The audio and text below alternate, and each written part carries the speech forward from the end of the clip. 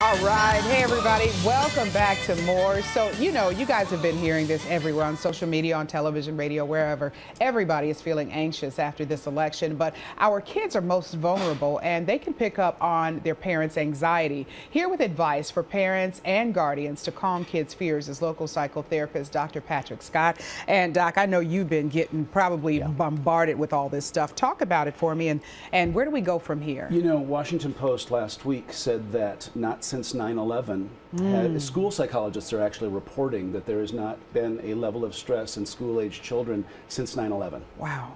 Which is pretty amazing, really. It's actually scary. It is really scary. Yeah. So a few weeks ago, I had a family, uh, of course, before the election, and a lot of their stress had to do with the parents arguing and the stress in the household, mostly because mommy or daddy just wouldn't turn the TV off. So yeah. we're going to talk about that. Okay, let's so get into tips, it. Yeah. let's know, get into it. Yeah. Is, as parents, we need to manage ourselves 1st mm -hmm. You know, it's stressful for everyone. Yeah. The difference is, and what's so confusing for kids, is that last week everybody's at each other's throats, and yeah. this week we're supposed to make peace and get along. Mm -hmm. And from a kid's point of view, it just looks really scary. Yeah. One kid came home from school and said, you know, mommy, I, is there going to be a thermonuclear war? Oh. Right?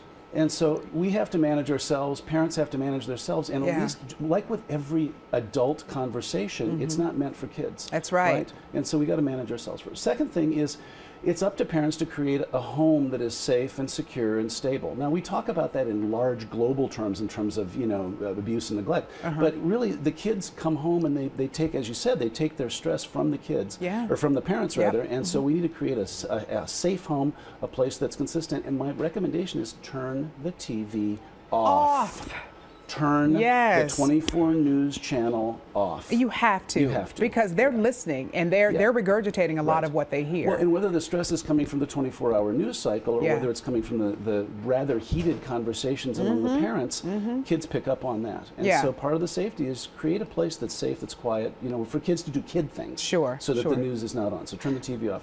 Third thing really is create a place where you can dialogue. Now, a lot of times kids who come home and say, Mommy, is there going to be a thermonuclear war? Mm -hmm. The natural tendency is, oh, sweetie, no, that's ridiculous. Why yeah. would you say something like that? Yeah. And just like all of us need to vent from time to time, it's important to create a space where kids can just talk.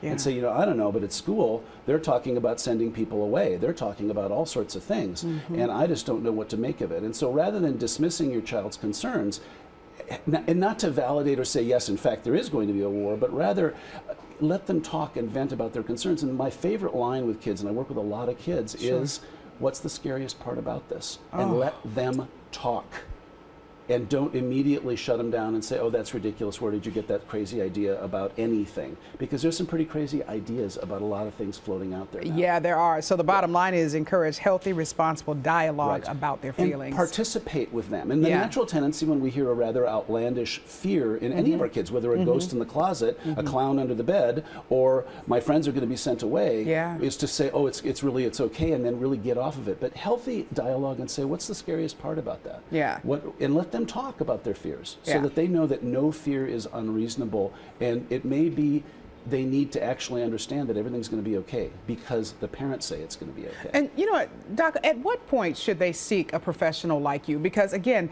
I've heard a lot of kids talking, you know, picking my son up from school, even mm. my son asking questions that make me shudder. Right. What, at what point do you say, okay, now it's time to seek professional help? When it causes what we call clinically significant impairment. They're not sleeping, they're having bad dreams, yeah. their, their schoolwork is failing, they're shutting down, they're not talking, they're withdrawing, isolated, uh, regressing. And little kids, they will have not, they'll have been potty trained and they will regress to oh. a place where they're starting to wet the bed again. Yeah. Those are real serious things where kids are really taking on some of this stress yeah. and actually professional help then is needed. All right. Always good talking pleasure. to you. Thank you so much. My we appreciate pleasure. it. Hopefully, parents, that helps you out. We know there's a lot of dialogue going on. Rachel, over to you.